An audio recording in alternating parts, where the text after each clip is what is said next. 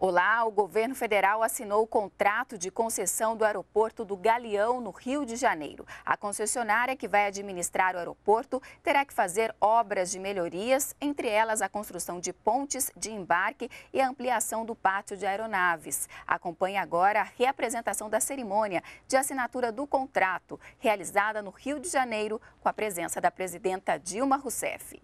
Ouviremos as palavras de boas-vindas do prefeito do Rio de Janeiro, Eduardo Paes. Queria não só aproveitar a oportunidade, presidenta, de para lhe dar as boas-vindas, mas dizer que eu acho que esse talvez seja um dos momentos mais marcantes na, na, na história recente dessa cidade. O Rio tem uma vocação natural para ser a porta de entrada desse país. Né? As pessoas, quando pensam no Brasil, elas pensam na imagem ah, do Rio de Janeiro. Essa cidade tem uma vocação natural para ser um grande centro de negócios, serviço e turismo.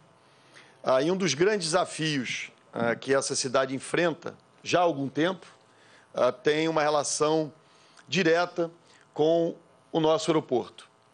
Ah, um aeroporto fortalecido, em que a gente cumpra com esse papel de hub, não só aqui no Brasil, mas para todo o Cone Sul, pode ser absolutamente transformador para essa cidade.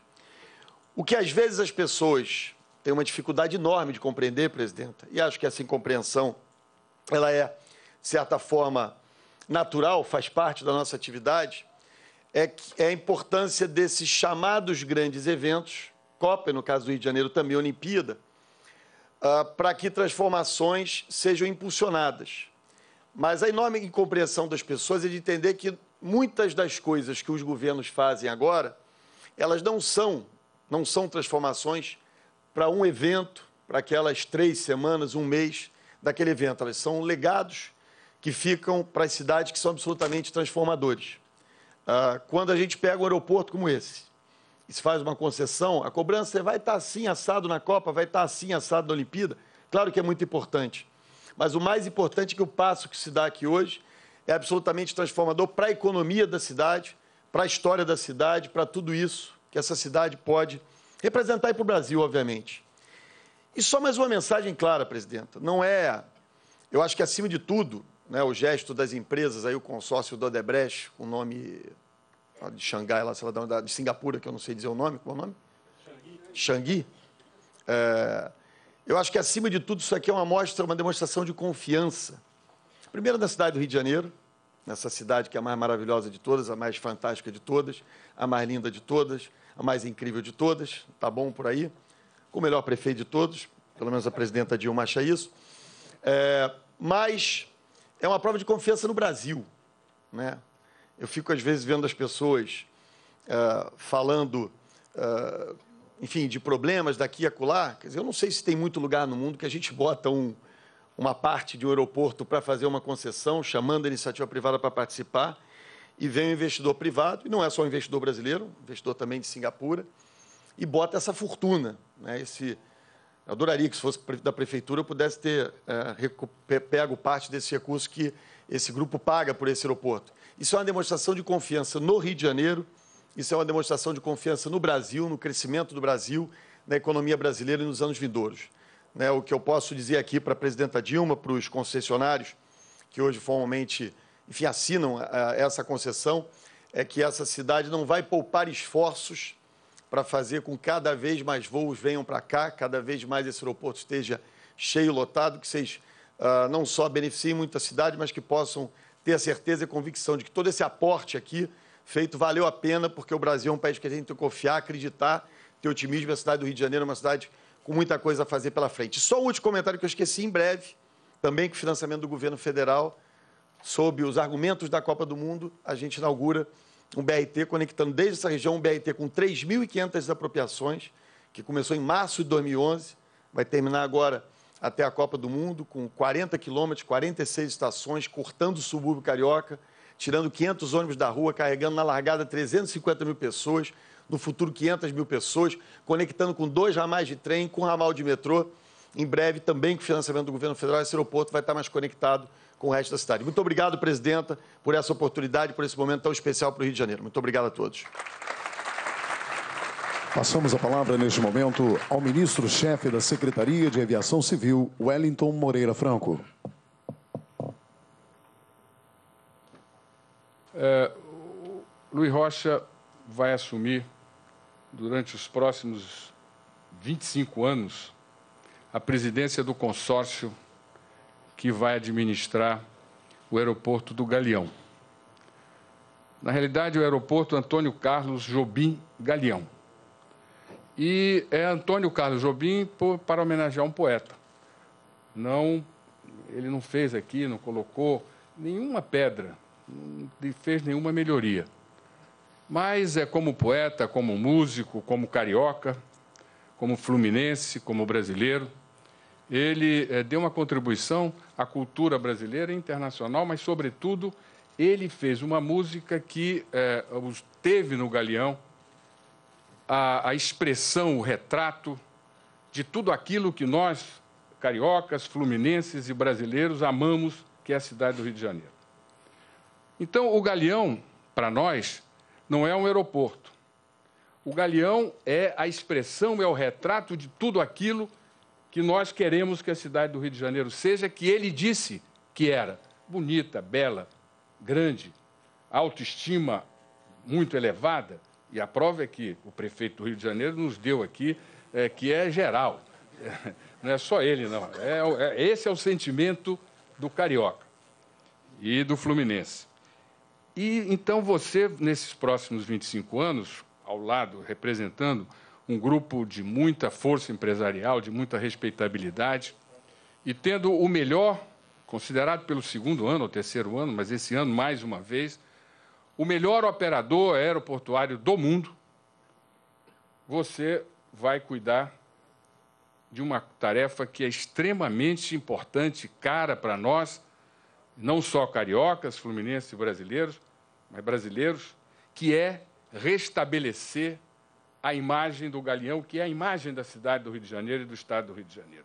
Você não vai cuidar simplesmente de organizar, de garantir conforto, segurança, preço, é, é, qualidade de serviço, você vai trabalhar com o imaginário, com a esperança. Uma esperança que é, o governo do Estado, o governo municipal, é, é, é, já há alguns anos vem trabalhando intensamente para restabelecer o que o Rio de Janeiro foi e que nós queremos que seja. E a expressão daquilo que queremos, dessa esperança, é o aeroporto, é o aeroporto do Galeão. Antônio Carlos Jobim Galeão. Mas não é só esse resgate da esperança, presidenta Dilma, que nós estamos comemorando aqui. Nós estamos aqui é, é, é, também afirmando a, a, existência de uma política que a senhora definiu para a aviação civil. Uma política que tem um objetivo, que é, é, é fazer uma transformação, uma modernização da, da, do, do ambiente da aviação e da infraestrutura aeroportuária em particular, ou seja, é, colocar isto no ambiente do século XXI, coisa que, lamentavelmente, não vivemos, e o Galeão é uma das expressões disto. E essa política ela, ela tem estratégias. Em primeiro lugar, a senhora é, tomou uma decisão é, extremamente corajosa, que foi é, tirar do ambiente militar o comando da aviação civil. E esse processo, que é um processo delicado, a senhora melhor do que ninguém sabe disso, ele vem sendo feito com muita naturalidade, com, muita, com, muito, com muito conforto, com muito respeito, é, é, procurando é, é trazer para o ambiente da aviação civil o que havia de melhor no ambiente militar, buscando as instituições de pesquisa, é, as universidades, o ITA, é, as, os órgãos da aeronáutica, para que nós possamos formar quadros e permitir que, sem nenhum abalo institucional, essa transferência se faça. Um outro objetivo estratégico foi a decisão extremamente corajosa que a senhora tomou de quebrar o monopólio. Monopólio que, em última instância, ele é, é, é prejudicial ao cliente. Quebrou o monopólio, que hoje era, era, tinha expressão nas práticas da Infraero, e é, instituiu, e aqui, nessa, né, nesse momento, é, é, instituiu a, a, a, a concorrência.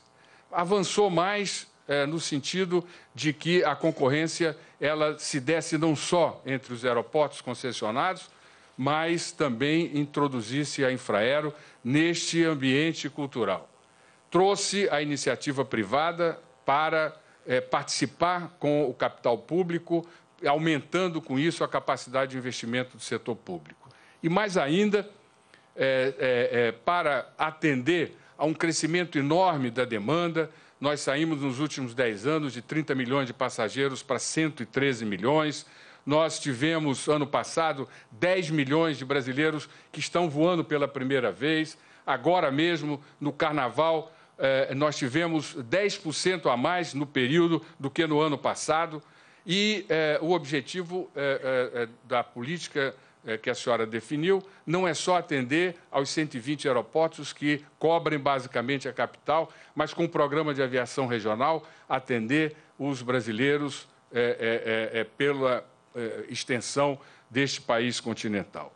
E nesse programa vai instituir o subsídio para que haja efetiva possibilidade em um país com tantas desigualdades regionais que todos os brasileiros possam usar esse modal, que é hoje o modal que no passado foi o trem, que no passado foi o navio e hoje é o avião que é e o aeroporto, por consequência, o grande indutor de transformações, eh, de mudanças eh, que econômicas e sociais e, sobretudo, abre a possibilidade das comunidades viverem num ambiente de diferença é, é, é cultural é, pela mobilidade que dá às pessoas.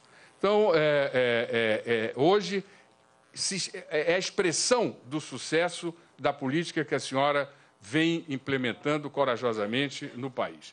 Uma política que terá um efeito de estimular a produção de aviões no país e certamente é, robustecer a Embraer. Isso tudo nos faz é, é, é, dizer obrigado à senhora. Obrigado pela coragem, obrigado pela determinação, obrigado pelo, pelo vigor e é, é, obrigado pelo fato de ter tanto apreço pelo Estado do Rio de Janeiro e pela cidade do Rio de Janeiro. E, dito isso, eu creio que é necessário o reconhecimento e os agradecimentos que todos nós eh, do Rio de Janeiro eh, devemos manifestar. Eu creio que todo governo tem que celebrar as suas conquistas. É fundamental para a autoestima do governo, fundamental para que haja a capacidade crescente das pessoas trabalharem mais, desenvolverem mais, é, celebrar os seus eventos. Por isso, eu gostaria, em primeiro lugar, de reconhecer aqueles que estiveram e que trabalharam. É, eu estou há um ano nesse, nesse ministério e, e posso dizer, posso porque vi, é, o empenho, é, em primeiro lugar, da senhora, que foi incansável e enfrentou grandes pressões para que as coisas não se dessem da maneira que estão se dando. E se estamos aqui com resultados tão expressivos do ponto de vista é, é de é, é, financeiros e do ponto de vista de qualidade de serviço é por causa dessa determinação na implementação dessa política que a senhora definiu. Acho que é necessário agradecer e reconhecer o papel, a, contribuição, o empenho, a dedicação com que a ministra de, é, Gleisi Hoffmann, é, ao longo de um ano, é, de, pelo menos eu, eu, com, com que eu convivi, pude ver é, o empenho que ela teve é, em fazer é, é, é, dessa, dessa esperança uma realidade. Hoje, nós não temos mais esperança, Lulu. Lula, nós temos a certeza de que a esperança de ter um galeão como retrato do Rio de Janeiro começa a ser uma realidade. Agradecer ao presidente do BNDES, o Luciano Coutinho, e ao vice-presidente, que é o ministro Wagner Bittencourt, que esteve na pasta e que iniciou esse processo. É fundamental que se agradeça a coragem e normalmente o governador Sérgio Cabral é muito muito delicado nas suas colocações, muito cuidadoso, mas eu diria que é, na defesa da concessão do Galeão, que ele foi o primeiro a colocar quando esse problema não era posto, ele quase chegou à impertinência ah, o vigor, a confiança, a crença que ele tinha de que o caminho para que eh, eh, se restabelecesse é, esse sentido era a concessão e lutou é, bravamente por isso. É, como é hábito na nossa cidade, nós queremos, é, é, gostamos muito, respeitamos muito a imprensa e nós tivemos é, na coluna do Anselmo Góes e com sua equipe uma permanente lembrança da necessidade de mudar o galeão. E eu espero que continue para que o Lula saiba que é, tem gente aqui que vai acompanhar é, delicadamente, minuciosamente, o trabalho que vai ser desenvolvido no sentido de restabelecer a, a, a, aquilo que nós queremos, que é o retrato do que somos, que é o aeroporto Antônio Carlos Jobim Galeão funcionando bem. Agradecer a equipe da ANAC e agradecer a equipe da SAC, que foram é, é, são ah, homens e mulheres, mulheres e homens, incansáveis, dedicados, todos muito jovens, mas com muito espírito público. E contribuíram grandemente para que nós chegássemos aqui. Enfim, é, eu quero desejar muito sucesso a vocês. É, o, o, o, Marcelo Odebrecht, que é o, o CEO da, da empresa, tem a, a responsabilidade de é fazer com que o exemplo de sucesso da empresa esteja aqui bem representado com ah, vocês, o Xangi, Xangi, e liderado, comandado aqui pelo Lula, que eu espero que seja um baiano que ame o Rio de Janeiro como todos nós amamos. Ouviremos agora as palavras do governador do Rio de Janeiro, Sérgio Cabral. Presidente, eu estou muito feliz por esse dia mesmo, de verdade. E acho que não só os cariocas, moradores do Rio de Janeiro, mas todo o Brasil deve à senhora, nesse momento, um grande agradecimento e que tem tudo a ver com esse momento aqui, porque há cerca de menos de dez dias atrás, a senhora mais uma vez demonstrou o seu amor ao povo do Rio de Janeiro. Eu quero aqui pedir uma salva de palmas pelo agradecimento à participação das Forças Armadas no apoio ao Complexo da Maré. Muito obrigado, presidenta Dilma. Muito obrigado. Pela sua firmeza, pela sua determinação, pela sua solidariedade, numa quinta-feira de madrugada, eu liguei para o Palácio da Alvorada, a senhora me atendeu, chegando de, um, de, um, de, de dois dias de viagens pelo Norte e Nordeste, cansada. Eu expus à senhora a situação, a senhora prontamente já marcou efetivamente para aquele mesmo dia, porque já era madrugada de sexta-feira. Fomos, Pezão, Beltrame e eu, ao encontro da senhora, com o Ministério da Defesa, Ministério da Justiça, e já na segunda-feira estávamos reunidos e já durante a semana sendo materializada essa operação. Uma operação, presidenta, que, em última análise, resgata 130 mil moradoras e moradores da nossa cidade, numa comunidade que reúne 15 comunidades, num complexo que reúne 15 comunidades, onde moram muitos imigrantes nordestinos, muitos cariocas de nascimento, onde facções entravam em guerra, milícia, e as pessoas saíam aqui do galeão, chegavam ao galeão, passavam em frente ao complexo da Maré, sem uma noção exata do julgo do poder paralelo dentro das comunidades do complexo da Maré. Então, os meus agradecimentos à senhora, ao Ministério da Marinha, ao Ministério da Defesa, por intermédio da Marinha, que prontamente nos apoiou na entrada dos nossos homens da Polícia Militar e Polícia Civil, do Exército Brasileiro, que estará a partir desse final de semana conosco, e da Aeronáutica, que também estava lá ao nosso lado, ao Brigadeiro Saito, ao General Enzo, ao General, ao Almirante Júlio, ao Ministro da Defesa Celso Amorim, ao Ministro da Justiça, José Eduardo Cardoso, um grande parceiro, a Polícia Federal, que, aliás, fez um trabalho e tem feito um trabalho excepcional em parceria com as nossas polícias, a Polícia Rodoviária Federal. É, era o, a, o último grande lugar do Rio de Janeiro, com mais de 100 mil habitantes, depois da Rocinha, que a senhora nos apoiou ao manter o Exército Brasileiro mais tempo no Alemão. Nos apoiou no Complexo do Alemão, quando a senhora já estava presidenta eleita, eu liguei para a senhora para consultá-la. Então, a senhora está desde o primeiro momento, de presidenta eleita a presidenta efetiva, nos apoiando em ações estruturantes para a qualidade de vida do nosso povo. Sem segurança, presidenta, não haveria um leilão com a repercussão que houve aqui. Sem segurança, o Rio de Janeiro não teria captado dos 19 centros de pesquisa, 15 centros de pesquisa que o Brasil captou, segundo informações do então ministro Halpe para mim. Sem segurança, nós não estaríamos inaugurando a primeira planta da Nissan no Brasil, no próximo dia 15 de abril, a senhora já com o futuro governador Pezão. Sem segurança, não estariam começando o trabalho de terraplenagem da Land Rover no Rio de Janeiro no mês de junho. Sem segurança, nós não teríamos captado as duas únicas siderúrgicas feitas no Brasil nos últimos 25 anos. Sem segurança, nós não teríamos captado os Jogos Olímpicos de 2016 contra Chicago, Madrid e Tóquio. A senhora sempre presente ao nosso lado. O povo do Rio de Janeiro é muito reconhecido a senhora. Durante a, a nossa convivência, eu, muitas vezes, a senhora me soprava no ouvido, ligava para a senhora a respeito do Galeão, a senhora firme.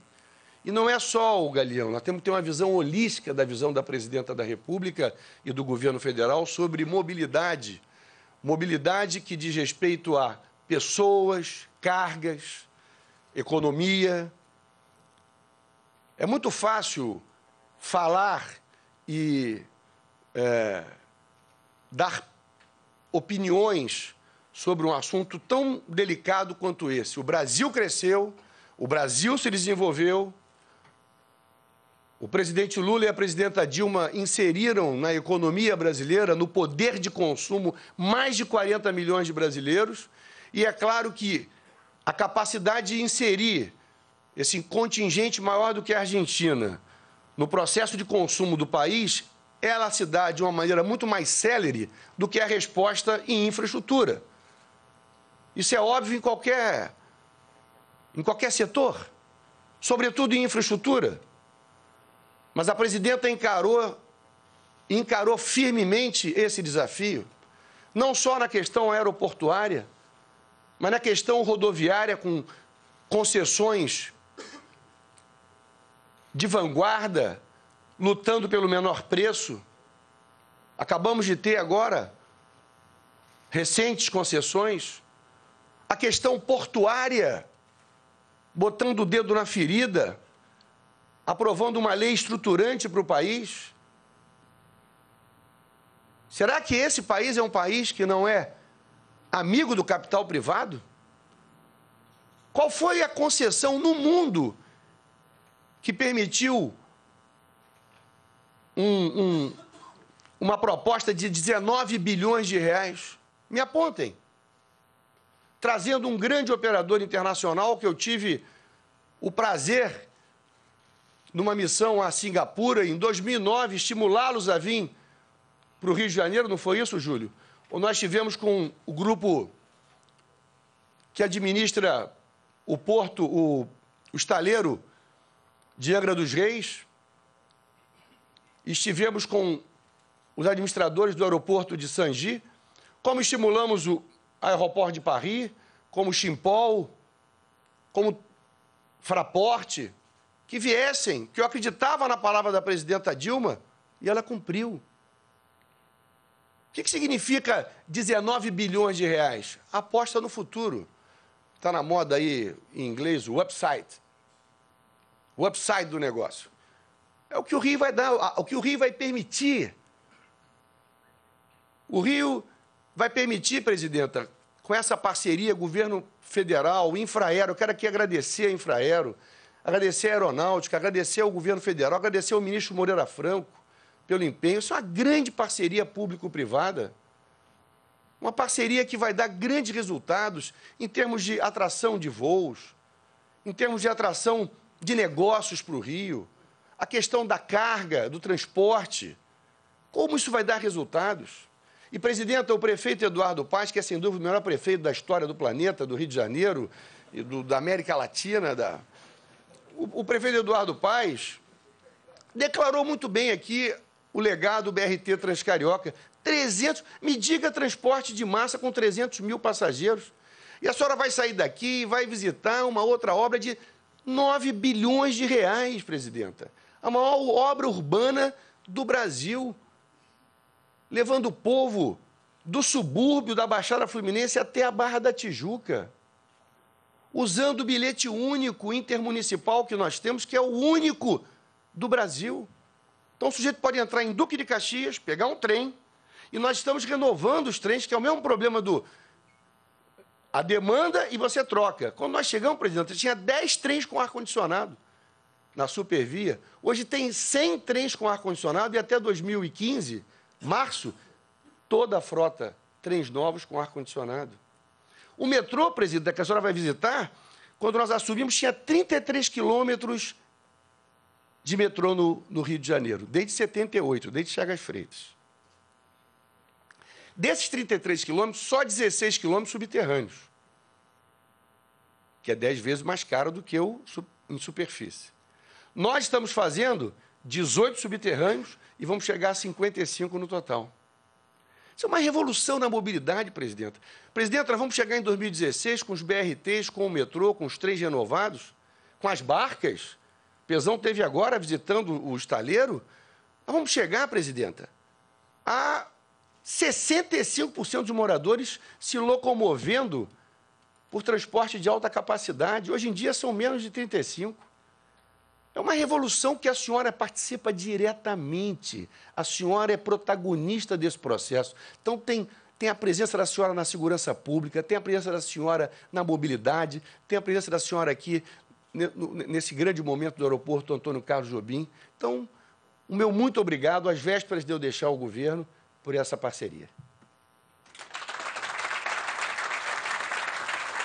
Neste momento, convidamos o presidente da Agência Nacional de Aviação Civil, Marcelo dos Guaranis, e o presidente da concessionária Aeroporto Rio de Janeiro, Luiz Teve Rocha, para assinarem o contrato de concessão do Aeroporto do Galeão.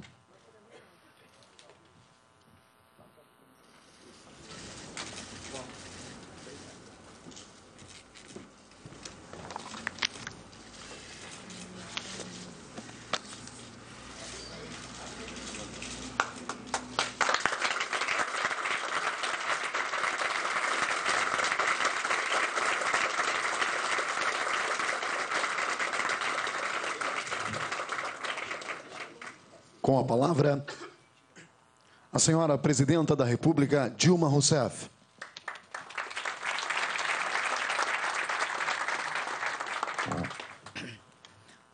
Queria dizer que o grande, como disse o nosso ministro da Secretaria de Aviação Civil, esse aeroporto tem o nome de um, de um dos maiores poetas desse país, um dos maiores artistas desse país que cujo nome é sinônimo de música de alta qualidade, além disso, reconhecida e apreciada não só pelos brasileiros, mas pelas eu acredito por todos aqueles que amam a música em todos os cantos do mundo.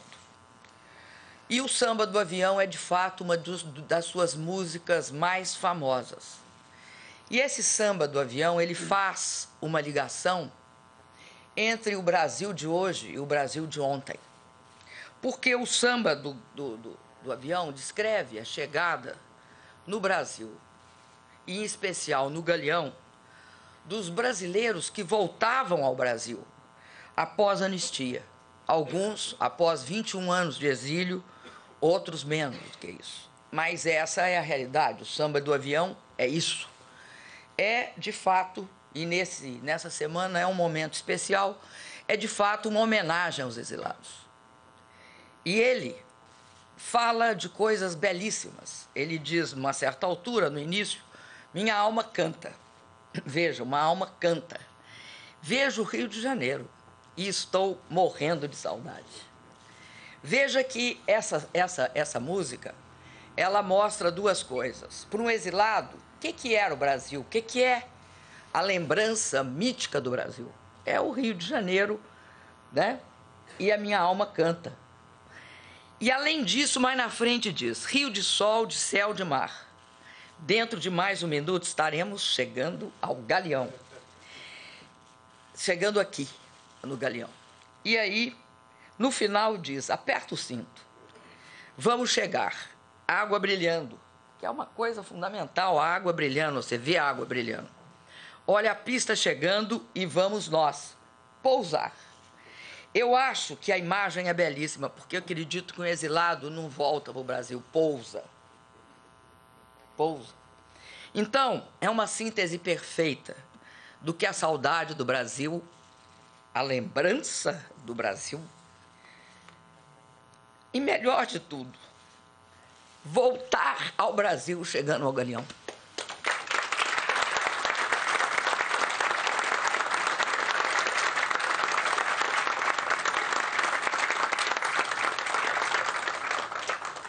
Desculpem a emoção, mas de fato, eu tenho certeza, numa homenagem aos exilados, que as almas cantaram.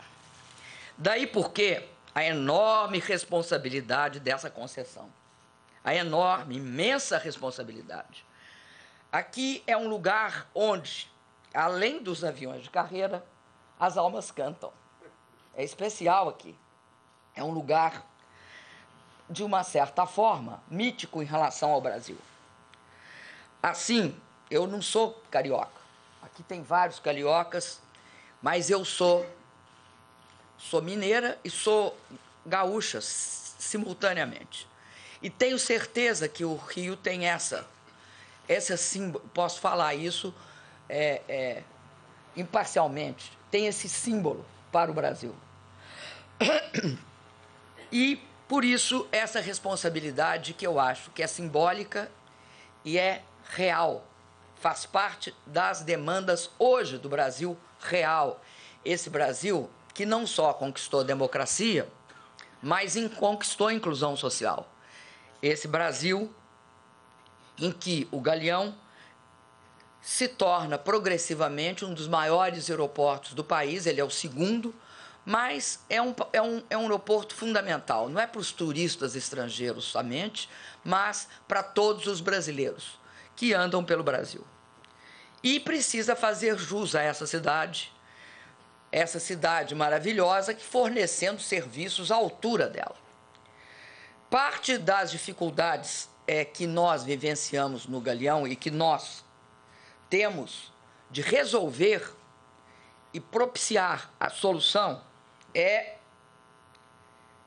o fato de que o Brasil mudou.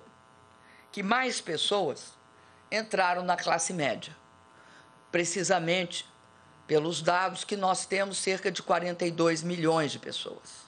Transformando só a classe C brasileira, chamada classe média, tanto a nova como a tradicional, em responsável por 55% da população, fora a classe AB e a D e E. Isso significa que uma porção de pessoas, uma quantidade imensa de pessoas que nunca tinham utilizado este meio de transporte, para os quais as pessoas, antigamente as pessoas se vestiam, se arrumavam para ir no avião. Hoje é um meio de transporte do povo brasileiro.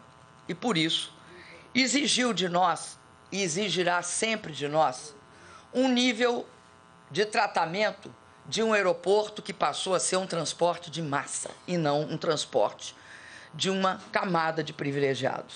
É para esse aeroporto que nós hoje estamos fazendo este processo de concessão. Para a gente ter uma ideia, entre 2006 e 2013, o número de passageiros por ano no Galeão passou de 9 milhões para 17 milhões, o que é extraordinário, um crescimento de 10% ao ano. Significa uma ampliação de demanda muito bem-vinda, mas significa uma pressão por uma oferta de maior qualidade. Daí por quê? Nós começamos já a executar algumas obras aqui. A Infraero tinha começado a reforma dos terminais 1 e 2 e a recuperação e revitalização dos sistemas de pistas e pátios. Mas sabemos que é preciso fazer muito mais que isso. Daí porque, dentro da nossa política de concessão, os aeroportos se destacaram. O Galeão, o aeroporto de Confins, nessa última etapa, mas também o aeroporto de Brasília e os dois de São Paulo, Viracopos e Guarulhos, além do aeroporto lá no Rio Grande do Norte de Amarante, São Gonçalo do Amarante. Esses seis aeroportos fazem parte desse processo de concessão à iniciativa privada.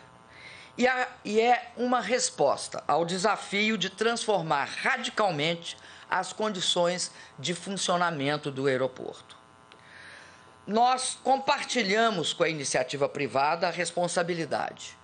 E assim vamos conseguir fazer mais investimentos. Podemos dizer com absoluta tranquilidade que a experiência e a competência para atingir esses objetivos não falta ao consórcio. A Odebrecht acumula muita história nas áreas da construção civil e na gestão de bens e serviços e a Changi Airport é responsável pela gestão do aeroporto de Singapura, escolhido nos últimos quatro anos como o melhor do mundo. Então, nossa expectativa em relação ao Galeão é bastante concreta. E por isso eu quero dizer que esse é o momento especial, que é o momento dessa partida. Eu acredito que a gente não precisa de desbancar o aeroporto de Singapura, mas que a gente tem de procurar empatar com ele. E eu é, acho que esse momento de assinatura do contrato ele marca justamente esse, esse esforço do Brasil no sentido de prover infraestrutura. Sem sombra de dúvida, todas as pessoas, quando elas mudam seu patamar de renda, elas exigem também melhores serviços. Isso não só é natural, mas faz parte de uma compreensão da realidade. Quando nós, no processo de transformação e de superação da pobreza extrema, que desenvolvemos ao longo do ano de 2012 e 13, dissemos: o fim da miséria é só um começo. O que nós queremos dizer é o seguinte: todos os desafios alcançados eles são só um começo de novos desafios. Por isso, é importante a qualidade do serviço. É importante o que foi mencionado pelo governador a respeito da política de segurança aqui no Rio de Janeiro. E nós, de fato, temos essa convergência entre o, a, a pacificação da, da, da maré e, ao mesmo tempo, o processo de concessão do aeroporto. Fazem parte da mesma, do mesmo esforço de ir sempre além, de modificar as condições que vigem atualmente. Eu acho que é sempre no Brasil uma tarefa urgente atender a demanda. A demanda aí por infraestrutura, mas também por serviços públicos essenciais, como a educação.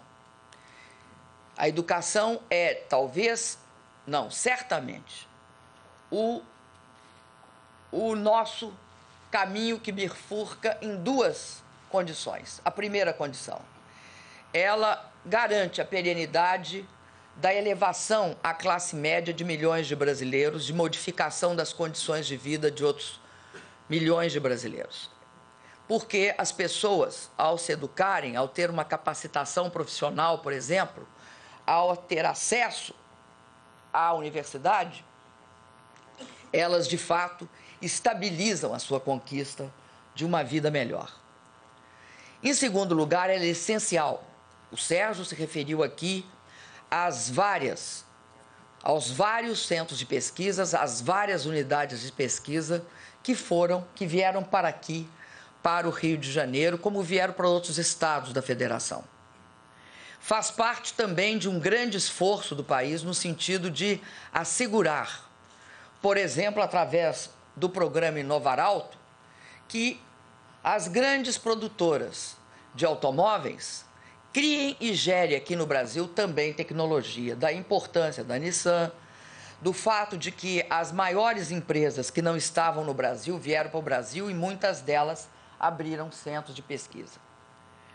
Mas eu queria aqui aproveitar essa oportunidade no aeroporto para falar de outra, de outra forma de mobilidade, que é a mobilidade urbana. E dizer que aqui no Rio de Janeiro nós batemos de fato recordes na nossa cooperação, tanto com o Estado quanto com os vários municípios, incluindo o Rio de Janeiro. Para se ter uma ideia, nós estamos aqui com projetos totalizando 20 bilhões 688 mil, mil, é, milho, é, 20 bi 688 milhões, nós estamos nos seguintes municípios: Campos dos Goitacazes, Duque de Caxias, Niterói, Nova Iguaçu, Petrópolis, Rio de Janeiro, São Gonçalo e Volta Redonda. Essa parceria que nos permitiu tantas obras, ela, se, ela cobre várias, várias tipos de modais. Um modal é o aeromóvel, que é a implantação do aeromóvel que está em fase de contratação em Campos de Goitacazes. O BRT. No Rio, no, na cidade do Rio de Janeiro, nós temos um, dois, três, quatro, cinco projetos de BRT. Cobre também corredores de ônibus, né? aí em várias cidades. Nova Iguaçu, São Gonçalo, Duque, Petrópolis, Volta Redonda, Rio de Janeiro. Metrô. Nós temos alguns projetos muito significativos de metrô. Eu acredito que aqui tem o maior projeto de metrô em termos de extensão de quilômetros. É também ela abarca o monotrilho, tanto o monotrilho do Rio de Janeiro como de São Gonçalo e Niterói. Abarca terminais, abarca vias urbanas e abarca VLTs. Eu estou me referindo a isso porque eu vou sair daqui agora e vou visitar justamente um dos projetos que nós consideramos estratégicos, que é o projeto de metrô. Eu vim disposta a atravessar o túnel, porque o túnel não está completo, mas eu tenho atravessado vários túneis nesses últimos quatro anos que eu estou no governo, nesses três anos e meio. E tenho imenso prazer de atravessar esse túnel com, os, com o governo do Rio de Janeiro, o governador Sérgio Pezão, e com o prefeito, que eu acredito que nos acompanhará. Por quê? Porque o Brasil é um país que durante um período achou que não devia investir em metrô. Porque metrô era coisa de rico, era coisa de países de rendas altas. Uma visão um tanto quanto é, não coincidente com a situação do país. Por quê? Cada vez que você pensa que você é um país menor do que você é, o seu sonho diminui e a sua capacidade de realizar também diminui. Nós não, nós achamos que o Brasil é um país que não é que é, obrigatoriamente tem de ter metrô. Não é possível ter populações de milhões e milhões de pessoas concentradas em regiões metropolitanas sem trilho, sem metrô. Não é possível, ninguém fará integração de modal em grandes populações sem metrô, VLT e óbvio os demais os demais modais. Aqui, até a barca é integrada aos diferentes modais. Isso está ocorrendo progressivamente nas cidades grandes, inclusive nas médias. Porque também as cidades médias do Brasil perceberam, antes do problema ocorrer na proporção que ocorreu nas nossas cidades, porque não foi tomado nenhuma providência lá atrás, urge que se tome em algumas cidades médias que caminham inexoravelmente para se transformar em grandes, se urge se criar sistema de trilho. Pode ser o VLT.